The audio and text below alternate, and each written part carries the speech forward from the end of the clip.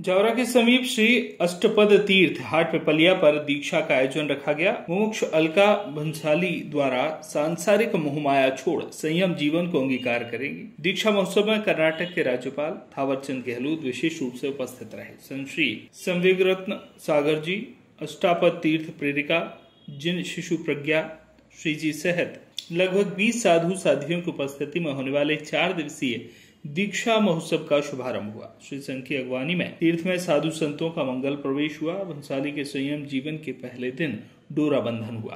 दीक्षा लेने वाले वस्त्र पर केसर के छींटे की रस्म हुई। महिला मंडल द्वारा सांस्कृतिक कार्यक्रम रख प्रस्तुतियाँ दी गईं। मुमुक्ष भंसाली के हाथों में मेहंदी लगाई गई व दीक्षा के दिन ग्रहण करने वाले सारे संसाधनों पंडाल में सजाया गया। पहले दिन डोरा बंधन के साथ ही चार बंधन होंगे। जावरा से जेपी मालानी की रिपोर्ट।